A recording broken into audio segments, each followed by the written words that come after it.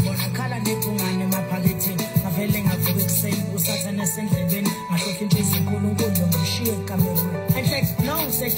and i've lost my independence So, ngizobloma yi-forever ngoba ngithole i-life sentence between me and freedom there's a very big difference between me and hell there's a very short distance life is not a walk in the park in fact it's a pain so when i'm I'm out there. pinjam awunjele lami ungeniswe ngenhliziyo yokuqala ngizokutshela mfana ukuthi awunamahloni sungazubulala umfana omncane ombulaleli ifoni kodwa ngeke ngajaja ngoba nami ngabheda everyday ngikhala ngaphakathi ungaboni ngoba kuhleka ubugebengu bangaqala ngikhathi ngiyekela isikole to tell you the truth mpintsham ngale mpilo ngiyayisola nami ngifana nawe mpintsham ungibona nje ngifundile into ekulethelana ejele ukuthi ingqondo ayijulile woza nendaba ishi ngijumile well let me think back it was about two years ago when i made the attack bengazi ukuthi ngenzeni indlala imele emqaleni igeja ebona wakhala nebhungane emaphaketheni ngavele ngavuka ekuseni usathane esendlebeni ngahlohla intshiza unkulunkulu ngamshiye ekamerweni bengazi ukuthi ngenzeni indlala imele emqaleni ikejwa ebona wakhala nebhungane emaphaketheni ngavele ngavuka ekuseni usathane esendlebeni ngahlohla intshiza